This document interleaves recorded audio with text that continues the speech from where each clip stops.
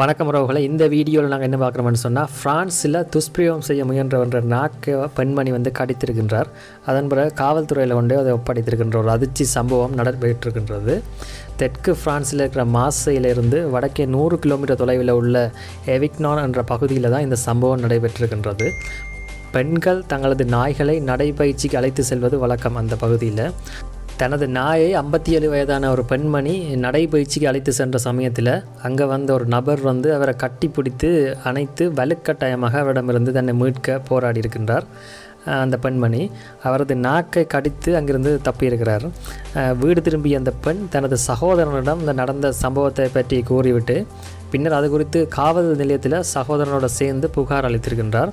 மேலும் பெண்மணி அந்த கடித்த நாக்கையும் அவரோட கொண்டு வந்த நாக்கின்ற ஒரு பகுதியையும் காவல்துறையில் ஒப்படைத்திருக்கிறார். புகாரில் வந்து அந்த நபர் தன்னை துஷ்பிரயோகம் செய்ய முயன்றதாகவும் தன்னை அசிங்கமாக தொட்டதாகவும் சொல்லி அவர் புகார் கொடுத்திருக்கின்றார்.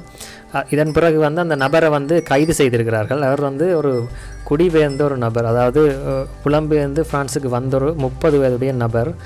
காவல்துறையினர் அவரை கைது செய்து இப்போ காவல்துறை வெளியிட்ட அறிக்கையில் குற்றம் சாட்டப்பட்ட அந்த நபரும் சட்டவிரோதமாக குடியிருக்கிற ஒரு வெளிநாட்டவர் என்று தெரிய வந்ததை அடுத்து அவரை நாட்டுக்கு அவருடைய சொந்த நாட்டுக்கே நாடு கடத்த போவதாக சொல்லியிருக்கிறார்கள். ஒரு ஒரு நிமிட மோகத்தில் வந்து அவருடைய வாழ்க்கையை வந்து அவர் இழந்திருக்கிறார் கிட்டத்தட்ட. என்னென்னு சொன்னால் அந்த தன்னை நாடு அவர் ஃப்ரான்ஸுக்கு வந்திருக்கிறார். சட்டவிரோதமாக வந்துட்டு பிரச்சனை இல்லை. அங்கே நிறைய பேர் ஃப்ரான்ஸில் சட்டவிரோதமாக வர்றவங்க அதனால் வந்து அதை சரியாக பயன்படுத்தி நான் முன்னேறதை விட்டுட்டு ஒரு பொம்பளை அதே மாதிரி ஐம்பத்தி ஏழு வயது பொம்பளையில் போய் கை வைக்க போய் அது இப்போ நாடு கடத்துகிற அளவுக்கு போயிட்டு அவர் இனி திருப்பி ஃப்ரான்ஸுக்கு நீ வரவே இல்லாது வேறு வேறு நாடுகளுக்கு போகிறதுமே நீ கேள்விக்குரிய தான் இருக்குது அப்போ அவர் கிட்டத்தட்ட அவர் வாழ்க்கையை வந்து அவர் நீ அவர் அவர்கிட்ட நாட்டுக்கு போய் அவர் அங்கே என்ன செய்ய என்ன செய்ய தெரியாது. அப்போ இங்கே பிரச்சனையை வந்து அடிப்படை என்னன்னு சொன்னால் ஒரு சின்ன ஒரு நிமிடத்தில் எங்களில் ஏற்படுற தடுமாட்டம் வந்து எங்கள் வாழ்க்கையே மாற்றும் அதுதான் இங்கே இங்கே அதை தான் நாங்கள் சொல்ல வர விஷயம். ஒரு நிமிடத்தில் ஒரு- சின்ன தடுமாற்றம் எங்களை அறியாமல் வர தடுமாற்றம் எங்களை வாழ்க்கையை வந்து தூக்கி போகிற அளவுக்கு சில இடங்களில் இருக்கும்.